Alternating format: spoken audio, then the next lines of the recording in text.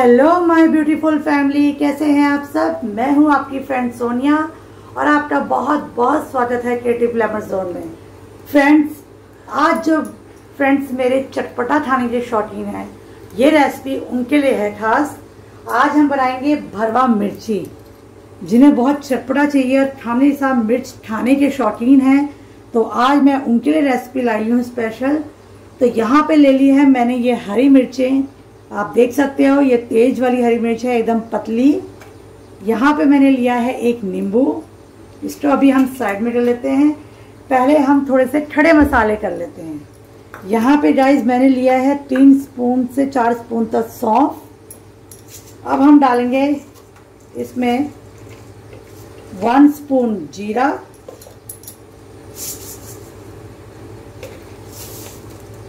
One spoon राई। One spoon कलौजी और वन स्पून अजवाइन। अब हम फ्रेंड इसको अच्छे से भून लेंगे यहाँ पे। आप तो बहुत ज़्यादा नहीं भूनना है गाइस इससे हल्का हल्का ही भूनना है। जैसे ही इसकी खुशबू आने लगे, आप फ्लेम को ऑफ़ कर लीजिए।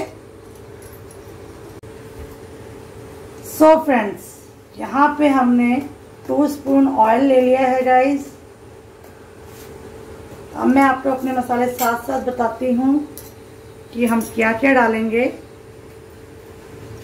अब हम तेल को थोड़ा गर्म होने देंगे।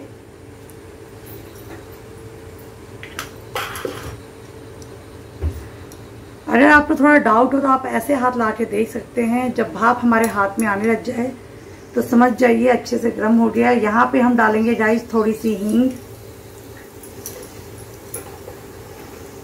अब हमने डाला है हाफ़ स्पून हल्दी। यहाँ पे आप गैस को एकदम स्लो फ्लेम में कर देंगे और वन स्पून गरम मसाला।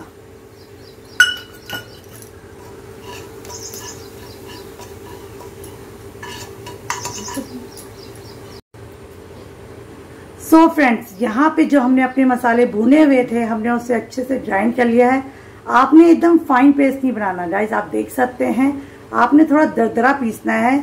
अब इसमें हम इसको डाल देंगे। और यहाँ पे आप फ्लेम को एकदम ऑफ़ कर लेंगे और इसको अच्छे से मिलाएँगे। आपने यहाँ तेल का ज़्यादा इस्तेमाल नहीं करना है गाइस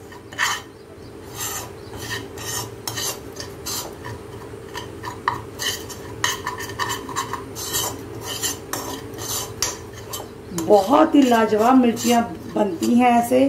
और खाने के साथ इनका मज़ा ही आ जाता है। आप अच्छे से भून लीजिए इसको।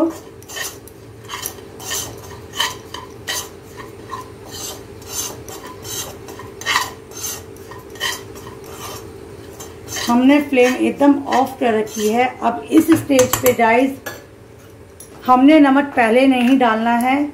अब हमने अपना नमक डालना है। अब यहाँ पे मैं वन स्पून नमक डाल रही हूँ। इसको अच्छे से मिला लीजिए।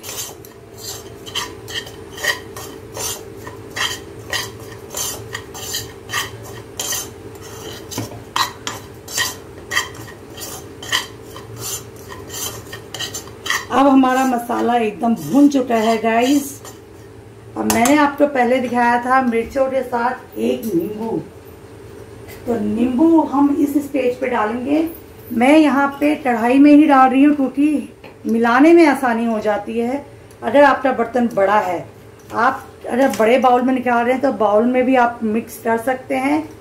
अब यहाँ पे हम नींबू डालेंगे और बहुत ही लाजवाब लगती है राइस ठट्टा ठट्टा बहुत ही मज़ेदार स्वाद आता है इसमें।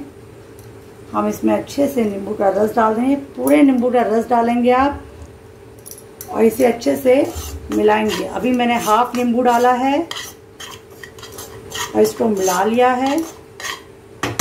अब मैं हाफ़ और डालूँगी। बहुत ही लाजवाब टेस्ट आता है गाइस कई बार क्या होता है, सबके बस की नहीं होती अचार बनाना और कई बार कईयों के हाथों में भी नहीं होता, अचार खराब हो जाता है या कुछ हो जाता है। लेकिन अगर आप इस तरीके से मिर्च भूनेंगे ना तो आप तो मिर्च के अचार का स्वाद एकदम भूल जाएँगे इन मिर्च के आगे। बहुत ही लाजवाब मिर्च लगती हैं गाइस एक बार बना के ट्राई कीजिएगा। और मुझे ज़रूर बताइएगा कि आपको ये कैसा लगा, ताकि मैं आपके लिए और भी अच्छी अच्छी रेसिपीज़ लेके आऊँ। तो चलिए गाइस अब हम इसे निकाल लेते हैं। सो so फ्रेंड्स हमारा मसाला बनके तैयार हो चुका है गाइस अब हम इस मिर्च को बीच में से फाड़ लेंगे। इस तरीके से आप चीर सकते हैं। और इसको आप अपनी दो उंगलियों में इस तरीके से फंसा के, और फिर हमें अच्छे से इसमें ये भरना है मसाला। आप चाहे तो गाइस जो मोटी मिर्च आती है ना, आप उसमें भी ये मसाला भर सकते हैं। लेकिन हमारे घर में सबको ये पतली मिर्चें पसंद हैं। ऐसा नहीं है कि उससे कुछ अलग मसाला होता है। और आप बना के देखिएगा। पतली मिर्चों में बहुत ज़्यादा स्वाद आ जाता है गाइस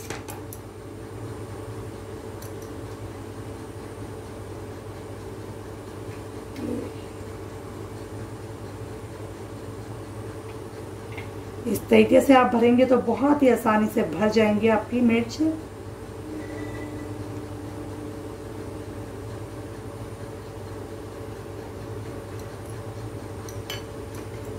इस तरीके से आप सारी मिर्चें भर लीजिए।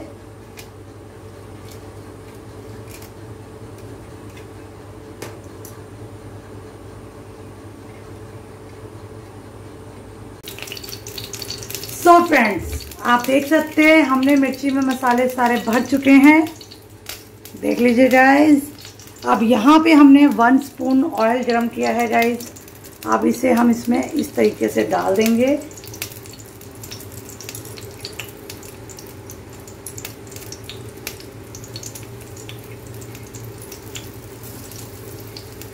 इसे आपने इसके बाद कुछ सेकंड के लिए ढक के रखना है। और ये कुछ सेकंड में तैयार हो जाती है। इसे आपने ज़्यादा भूनना नहीं है। दो तीन सेकंड के बाद आप इसे एक बार पलटेंगे और उसके बाद दो तीन सेकंड के बाद हमारी भरवा मिर्ची एकदम बनके रेडी हो जाएँगी राइस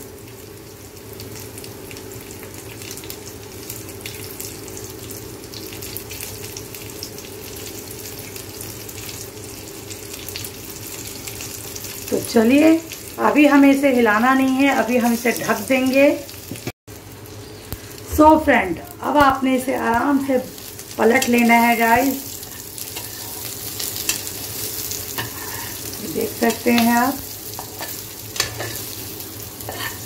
इसे आप अच्छे से पलट लीजिए।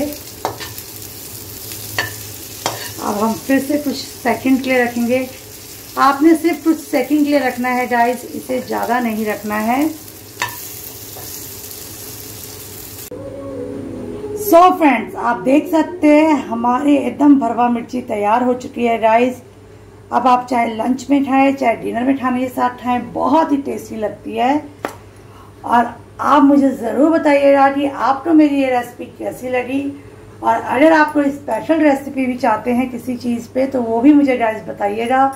मैं आपके लिए ज़रूर लेके आऊँगी. सो so गाइज़ अगर आपको मेरी वीडियो पसंद आ रही है तो प्लीज़ प्लीज़ लाइक कीजिए शेयर कीजिए और मेरे चैनल को सब्सक्राइब कीजिए। मिलती हूँ नेक्स्ट वीडियो में आपसे। तब तक के लिए bye bye take care love you